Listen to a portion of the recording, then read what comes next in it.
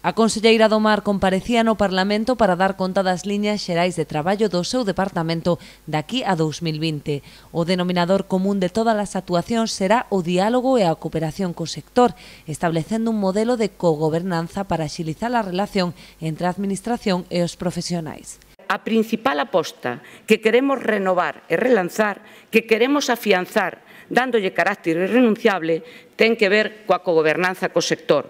Temos, debemos e queremos escoitar ao sector. Así o practicamos sempre e o referendamos hai un ano.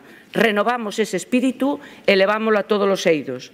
A finalidade é que o noso sector dispoña de normas que non distorsionen a actividade dos mariñeiros, das mariscadoras e dos acuicultores, de forma que a súa simplificación redunde nunha axilización da relación administración-sector. Unha das principais medidas para favorecer esta colaboración será a elaboración dun informe anual do Consello Galego de Pesca, onde se reflitan as principais inquedanzas do sector inquedanzas entre as que destaca a consecución dunha maior competitividade da flota pesqueira. Daí a necesidade de seguir vixilantes ante a negociación das cotas pesqueiras en Europa, o regulamento de medidas técnicas e de control ou a normativa sobre a eliminación dos descartes.